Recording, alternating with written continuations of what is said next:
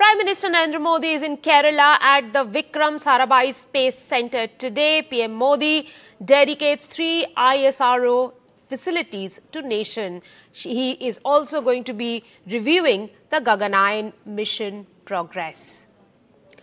I'm joined by my colleague Pallava Bagla on the phone line uh, for uh, to talk about this visit of the Prime Minister to the um, ISRO site in Kerala. Uh, Pallav, this is one of the key stations of uh, um, ISRO. Tell us a little bit about what does PM's visit uh, to um, ISRO mean today and how much of a push will the Gaganyaan mission get by him visiting here?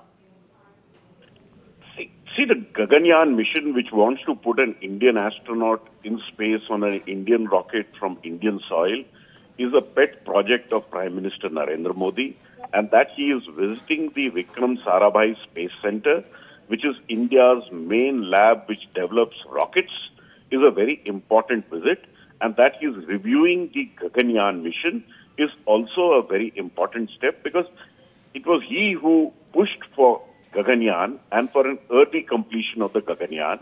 It's a mission which will cost about 10,000 crore rupees the single most expensive scientific experiment ever done by India in India.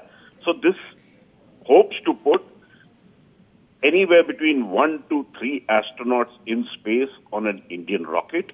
The Indian Space Research Organization is actively working towards completing the project. And last, when I spoke to the ISRO chairman, uh, Mr. S. Somanath, whose visuals along with the Prime Minister we can see, he said that the project could well fly an Indian astronaut sometime in 2025. So there is still some distance to be covered. Uh, taking an astronaut into space and safely bringing an astronaut back is an important part. And all the tests that need to be done have to be safely completed. The progress is happening, but it is an incremental process which mm. cannot be expedited. Hmm. And all the tests have to be done carefully and completed with satisfaction. It is a big mission. If mm-hmm. India succeeds in sending an astronaut into space on its own capability, right. India would only be the fourth country in the world to do it. So it is a landmark moment, and the Prime Minister reviewing the Gaganyaan mission at the Vikram Sarabhai Space Center mm-hmm. is a milestone. It is a milestone moment indeed. And Pallav, talk to us a little bit about the importance of this particular space station that uh, our Prime Minister is visiting. It is, it is uh, probably one of those uh, landmark uh, sites in when we talk about India's uh, space mission, which was uh, established by Vikram Sarabhai a long time ago. It is the first station and the first rocket launch from India which happened from Thumba, which is not far from the Vikram Sarabhai Space Center, right. happened from here. And we can see on our screens a Prime Minister having looked at the one of the first uh, robots which will go up in the uh, Gaganyaan mission. Mm-hmm. And the Prime Minister is reviewing the different parts of the Gaganyaan mission. We can see the crew module along with the uh, the parachute which will bring the crew module back, which was recently tested. And we can see the Vyommitra, the the robot which will go up in one of the uncrewed flights on Gaganyaan before humans are sent up. So the Vikram Sarabhai Space Center is the place where India has developed all its rockets, from the first sounding mm-hmm. rockets to now the Bahubali or the launch vehicle Mark III, all have been developed by the Vikram Sarabhai Space Center. It is a, a pioneering institution of ISRO and the place where the main rockets and the thrusters and engines for the Gaganyaan are right. being uh, finalized. So it's without uh, Vikram Sarabhai Space Center, mm-hmm. uh, Gaganyaan will not happen. And the Prime Minister himself mm-hmm. personally visiting the Space Center. And remember, Prime Minister goes and visits several institutions of the Indian Space Research Organization, right. and this is just one among them he's visiting very recently. So it is a, mm-hmm. Important visit, and also it's a time for him to take stock of what is the progress because, as I said, it is a pet project of Prime Minister Narendra Modi, and he himself has been pushing very hard that India sends an astronaut into space. But before that, we may well have an Indian astronaut going to the International Space Station sometime later this year, which will be on an American rocket.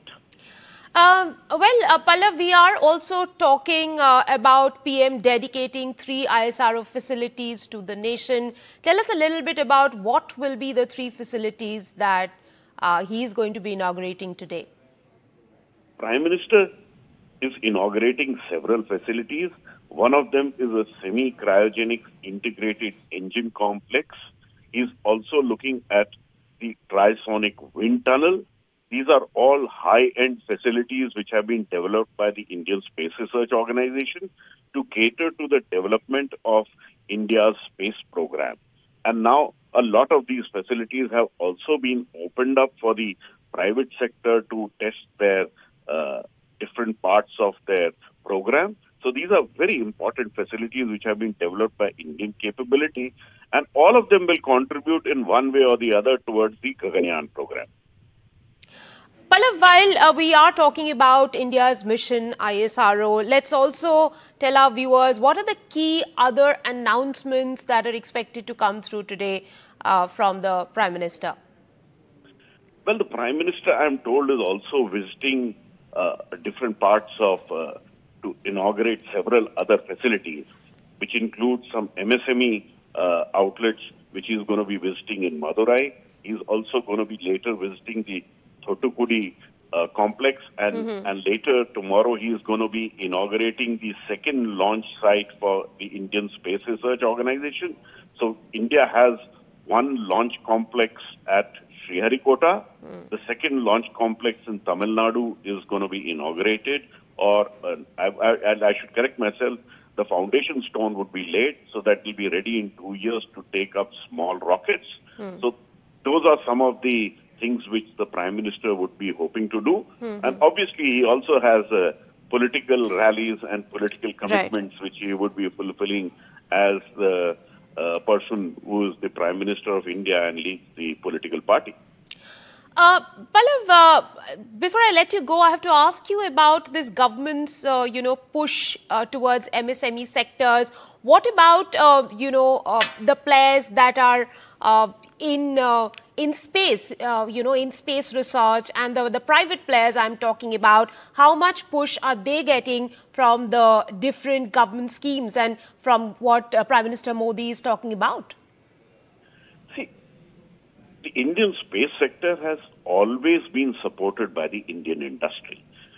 Indian Space Research Organization gets its sub-assemblies and sub-parts from different industries and the big companies like Larsen and Toubro, Godrej, Godrej, and Walchand Nagar have always been contributing to the Indian space program. Mm-hmm. But of late, once the space sector and the startup industry kind of got going, there are many places where the what about the tech companies? What about the big tech companies?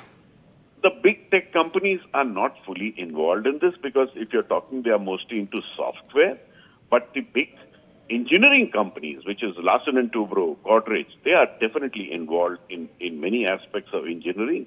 And we can see Prime Minister looking at India's Space Vision 2047, and we can see the crew module, uh, which is there in front of him, mm-hmm. and and the uh, chairman of ISRO, Sri S. Somanath, is explaining different aspects of the uh, Gaganyaan program to the Prime Minister, and we can see the first visuals mm. of what an Indian astronaut will look like. Mm. Because India already has a plan to have send an Indian astronaut to the moon by 2040. That is what Prime Minister's vision is.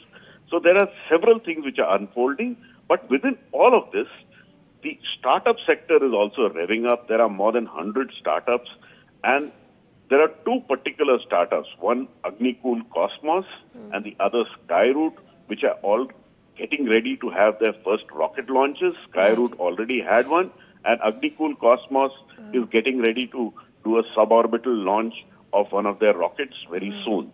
So these are all uh, the the whole. It no longer can be called a government program, so it is a national space ecosystem, right. and the whole ecosystem is being revved up. Right. And all of this mm-hmm. in trying to make India the place for developing space technology. Uh, with frugal and high quality. See, the Indian space program is known for its quality while also keeping the cost low. So, so whenever uh, finally, if humans have to go and habitate the moon, India will also be part of that. So that is the grand vision in front of uh, uh, the country, and the Prime Minister is ably supporting that.